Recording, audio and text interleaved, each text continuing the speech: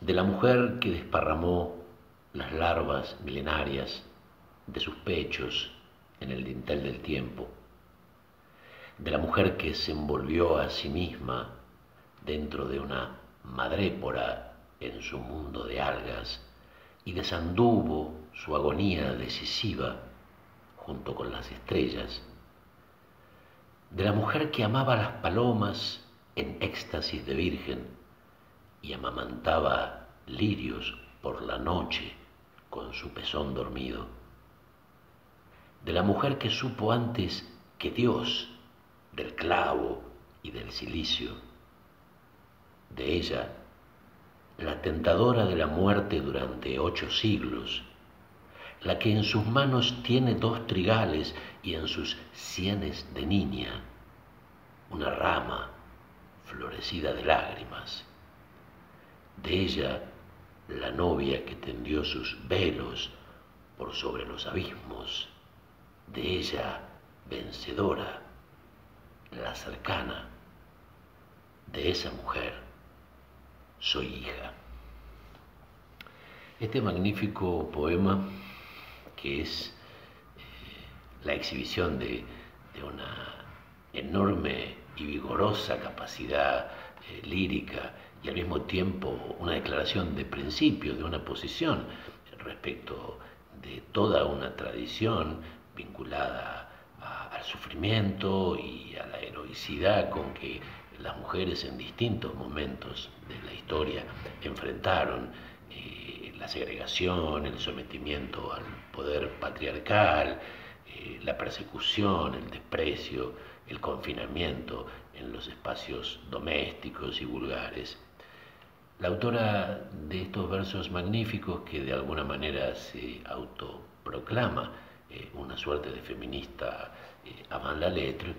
no fue otra que la gran Estela Díaz Barín, eh, más conocida como la colorina, por el encendido, flamígero cabello pelirrojo que la caracterizó.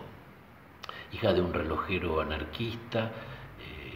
logró instalarse a instancias de quien entonces era presidente de la Nación y frente al cual, estando aún en el liceo, leyó unos versos en su honor. Eh, logró instalarse, decía, habiendo nacido en La Serena, en la ciudad de Santiago.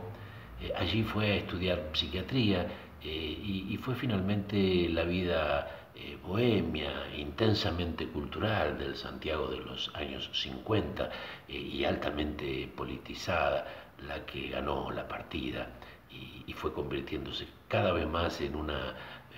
poeta imprescindible eh, y en una figura pública eh,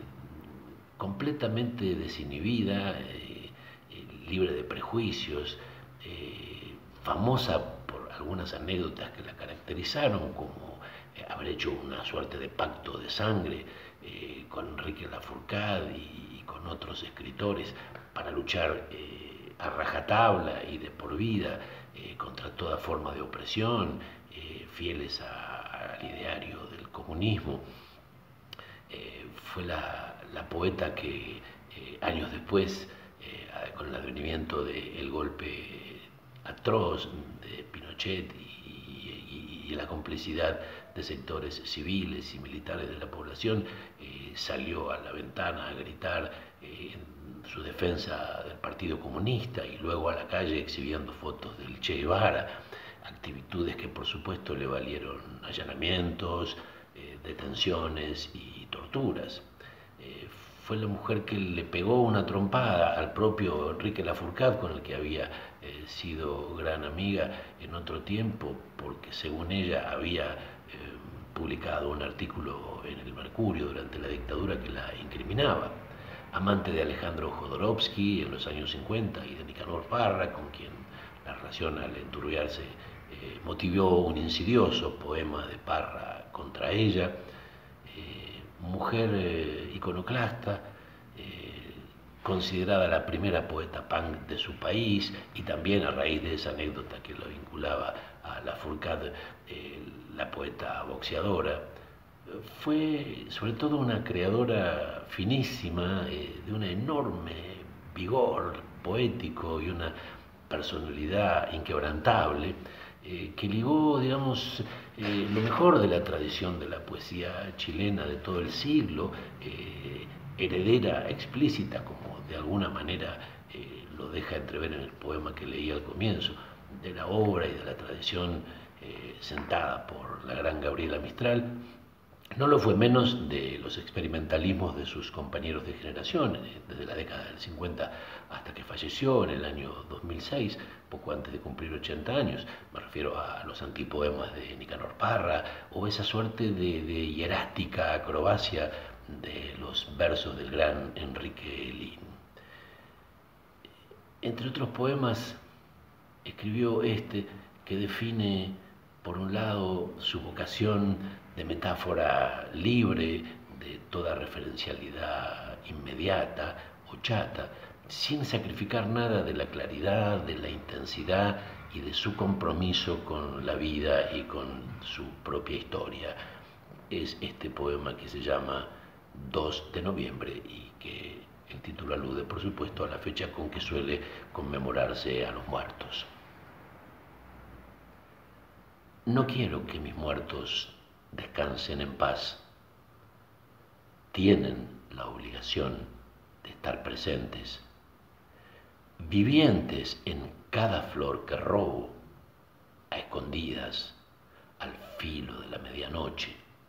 cuando los vivos, al borde del insomnio, juegan a los dados y enhebran su amargura. Los conmino a estar presentes en cada pensamiento que desvelo. No quiero que los míos se me olviden bajo tierra. Los que allí los acostaron no resolvieron la eternidad. No quiero que a mis muertos me los hundan, me los ignoren, me los hagan olvidar aquí o allá, en cualquier hemisferio. Los obligo a mis muertos en su día, los descubro, los trasplanto, los desnudo, los llevo a la superficie, a flor de tierra, donde está esperándolos el nido de la acústica. Buen apetito.